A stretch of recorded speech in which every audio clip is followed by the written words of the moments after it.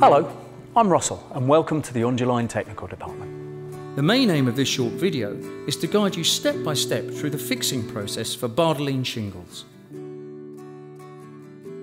There's also a fully comprehensive fixing guide that you can download from our website. The first job is to inspect the building.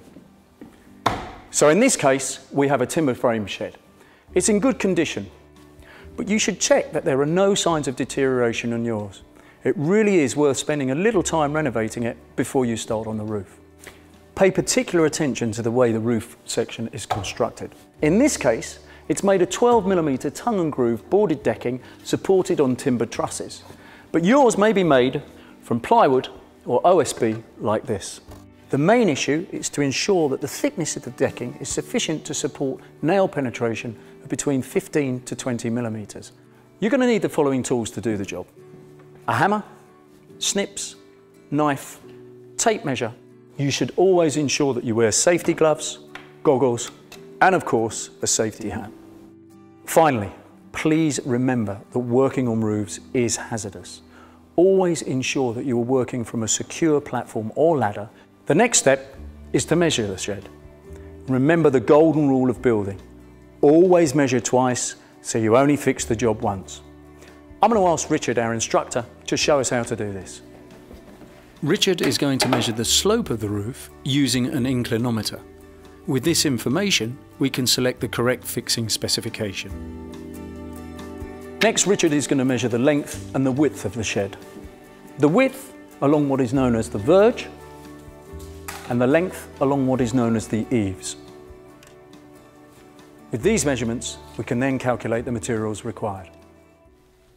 The minimum roof pitch to which you can fix Bardoline is 12.5 degrees. You should also use an Ondutis underlay on shallow pitch roofs below 20 degrees. At the eaves, use Bardoline pre-formed eaves trays to form a drip edge. Lay them square to the eaves line and fix using large-headed clout nails.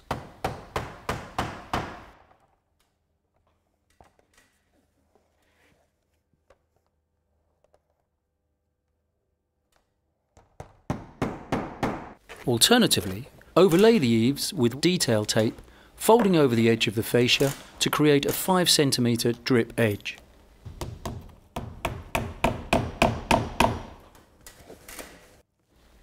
The roof can then be covered as required with Ondutis membrane, overlapping each section by 10 cm and securing with clout nails. We can now lay the shingles. First we prepare the eaves course by cutting off the tile tabs from the strip.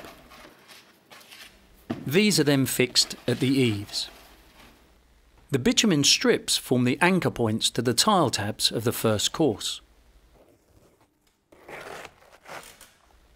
On exposed sites, Bardoline sealant adhesive can be used to reinforce the bonding of the tile tabs.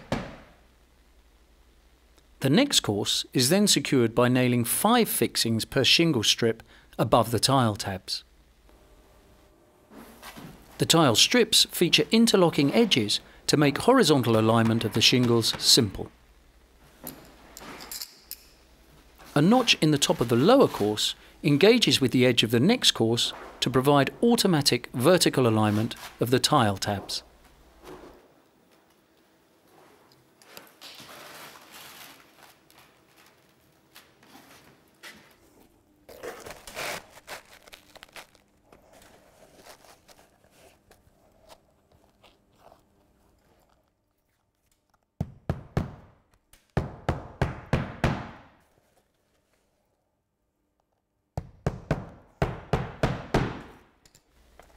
Use a hot air gun to heat the bitumen adhesive to consolidate and bond the tile tab to the lower course. The remaining shingles can then be fixed, taking care to keep them square to the eaves verge lines.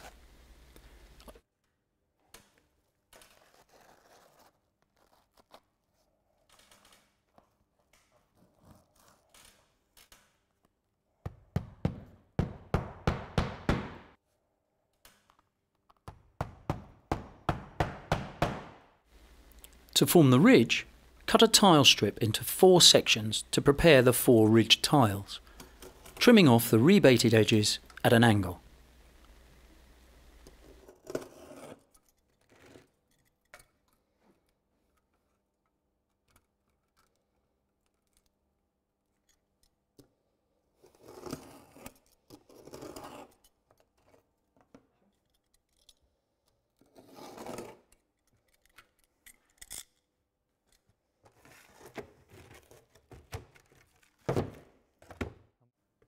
Then gently heat each tile section on the bench to form the ridge tiles, which are then taken to the roof for fixing.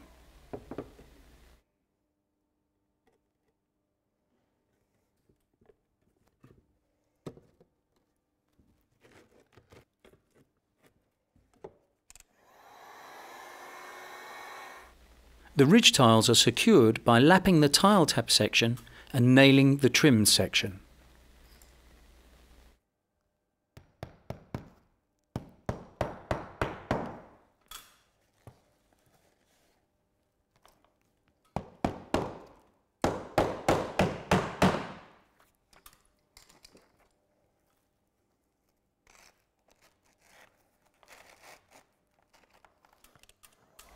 Use heat to consolidate the lap joints.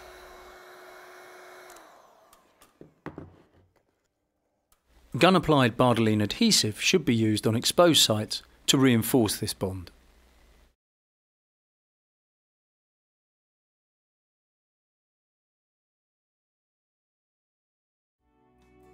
Alternatively, the ridge is then overlaid with detail trim and nailed at 15 cm centres.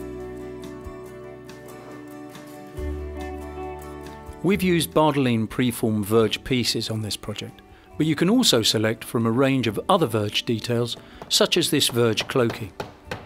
Consult the PDF download leaflet for further information.